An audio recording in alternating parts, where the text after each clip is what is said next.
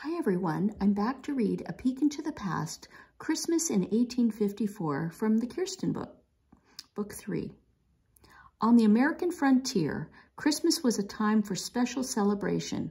Settlers like the Larsons had a lot to celebrate. They had found new homes, they had good food, good health, and good neighbors. They were building new lives in America, including American Christmas traditions. Just as people on the frontier taught one another good ways to farm, build houses, and to care for animals, they also shared the ways of celebrating Christmas. Kirsten told her cousins about the Swedish tradition of St. Lucia in return. Anna and Lisbeth probably showed her how they celebrated Christmas on their Minnesota farm.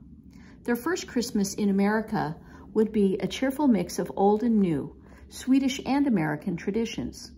For families living in frontier towns in 1854, there were Christmas fairs and dances, uh, church suppers, door-to-door -door caroling, and moonlight sleigh rides. But families who lived on farms had to make their own Christmas cheer. Their celebrations were quiet because frontier farms were far away from towns and from, a, and from one another. Their celebrations were simple because work always came first on the farm.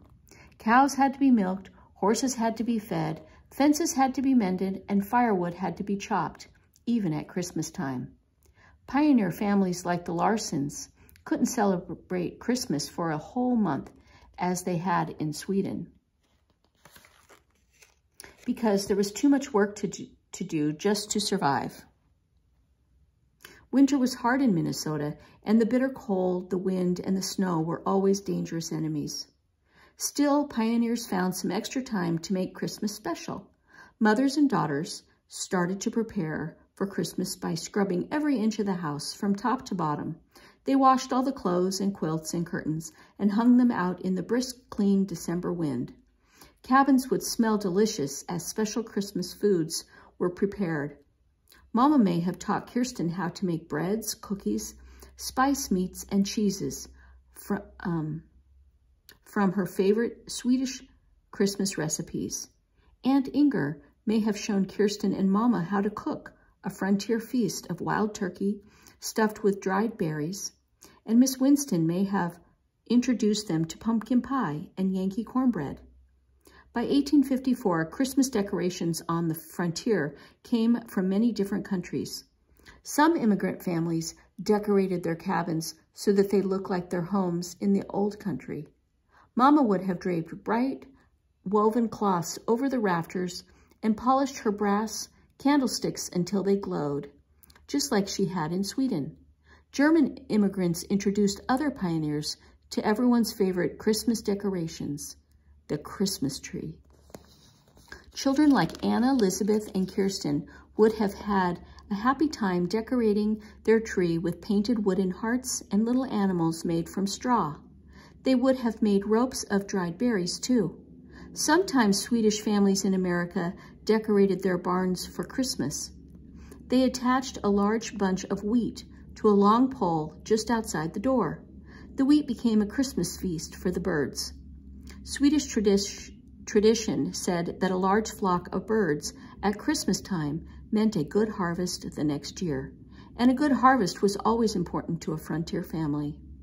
Candles were too precious for pioneers to waste, but on Christmas Eve, a family like the Larsons may have kept the old Swedish tradition of lighting a candle in every window to show the way for Jultomten, the Swedish Christmas elf.